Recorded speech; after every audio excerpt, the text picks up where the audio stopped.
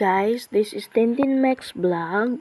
Ah, ang ituturo ko sa inyo guys is ah marami po nagtatanong nito guys at maraming hindi pa nakakaalam kung paano nga ba maglipat o mag-transfer ng playlist to watch later.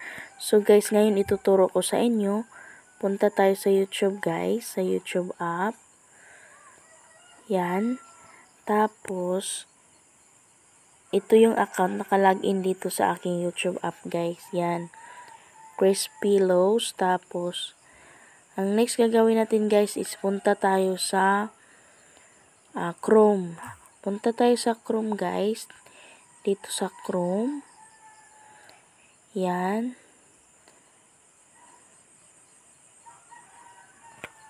Yan. Tingnan natin. Dapat guys, ang nakalagin dito sa Chrome is same account na nakalagin doon sa aking ah, YouTube app. So, ito yun guys. Uh, Chris Pillows. Yan, Chris Pillows. So, guys, nakalimutan ko pala. Doon sa YouTube app, guys, yan, naka login yung Chris Pillows dyan.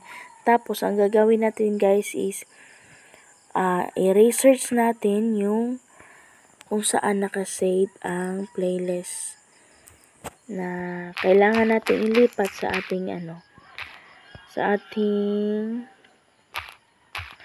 watch later. So yan guys. Search natin. So dito siya nakasave. Tapos playlist. Yan ito yung ah uh, ililipat ko sa watch later guys. So yan, i-copy lang natin yung link ng playlist. So yan, copy na siya.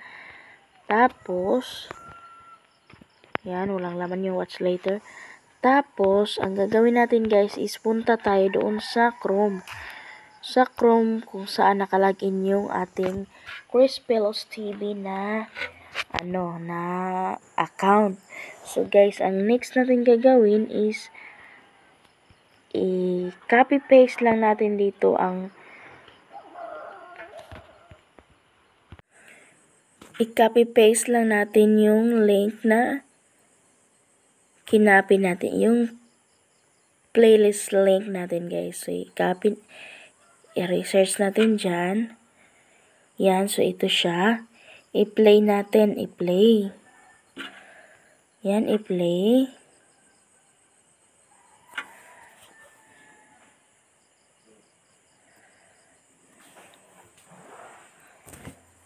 Antayin lang natin matapos yung ads, guys.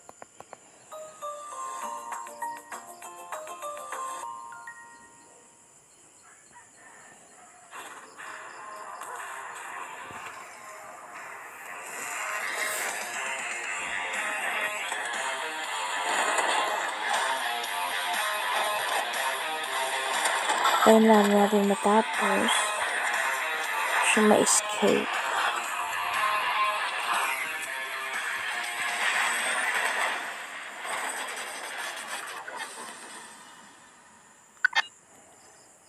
Yan, tapos na guys. Ilang seconds na lang. So, antayin lang talaga natin guys kasi hindi siya ma-escape. Hindi ko siya ma-escape. So, congratulations nga pala sa ni Miss L Vlogs. Na-monetize na po yung channel niya guys. Congratulations sa iyo sis. At ngayon, uh, ang gagawin natin is, ay lumiit.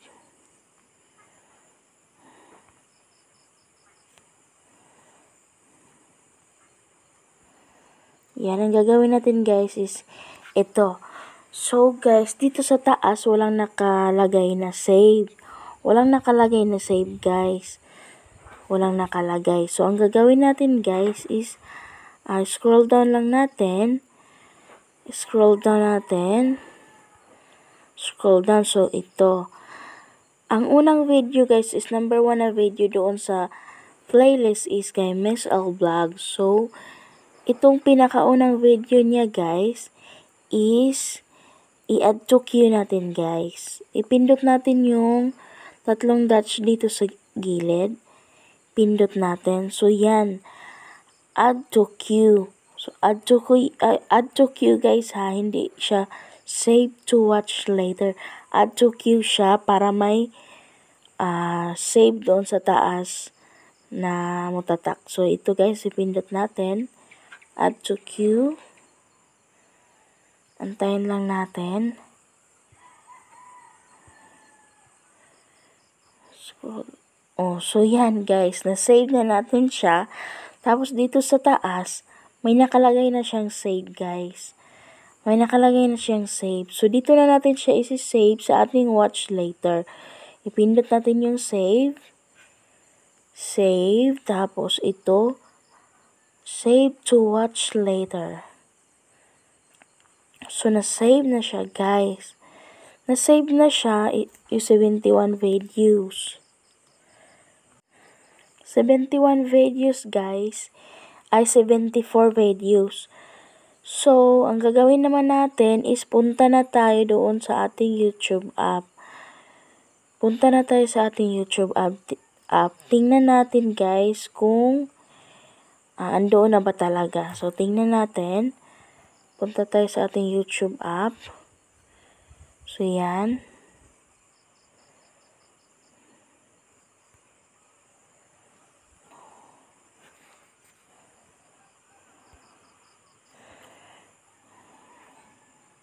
Dito na tayo. Tingnan natin ang ating, o oh, yan. Watch later.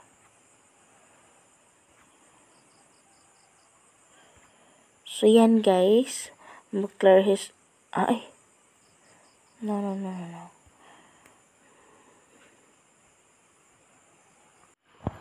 So guys, ngayon andito na tayo sa ating watch later. So yung dapat yung watch later guys is dapat 75 videos na siya guys. 75 videos kasi yung in-add to queue natin nasa watch later din yun guys. So dapat 75. So dito guys is 74 pa din. Ah, yan 74 pa din.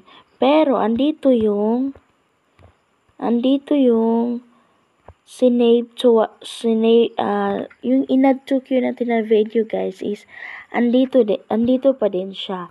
So, guys, hanapin natin. Makikita po siya sa pinakadulo ng video, guys. Pinakadulo ng videos. Dito. So, yan. Andito si Miss L Vlogs. Tapos, meron din dito sa pinakaunahan. Kasi yung pinasa kadulo na pinakadulo guys is yung inad to queue natin na video. So, ang gagawin natin guys is kasi hindi siya kasama sa playlist.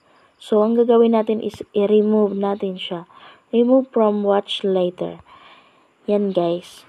Yan. Tapos ngayon, 73 videos na lang siya guys. Dapat 74 kasi ano 74 yung bilang ng video sa ating playlist.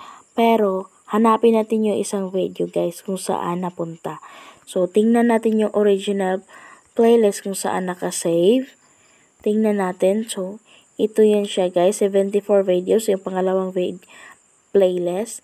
Yan. 74 videos guys. 74 videos pero may naka-unavailable videos. May unavailable videos guys. Nakatago daw po. So, ibig sabihin guys, 70, 73 lang yung na-save sa watch later. Kasi hindi ma-save yung isang pang 74 na video kasi ano, nakatago siya. Siguro nag-favorite, naka-private. Naka-private na po yung isang video, guys. So, yun. Ayan, nakita na natin, guys. So, da, 73 lang yung ma-save sa ating watch later. Kasi nakatago na yung isang video. Naka-private, guys. So, yun nakasave na siya guys. Ah, uh, ito yung paraan guys na mag-save ka ng watch later na hindi pa isa-isa. Mag-save ka ng mag-save ka ng playlist uh, to watch later na hindi pa isa-isa. So yun yun guys, yun lang. Sana ma, ma, may natutunan kayo sa aking video tutorial. Kasi ito yung ano guys, ito yung pinakamahirap na para sa akin yung hindi ko pa nalaman itong ah, procedure na to. So, ano, ah, ngayon, alam na natin at malalaman nyo na din guys kung mapanood nyo tong video tutorial ko. So guys, maraming salamat sa inyong lahat. At huwag kalimutang mag-like and subscribe sa aking YouTube channel. Maraming salamat!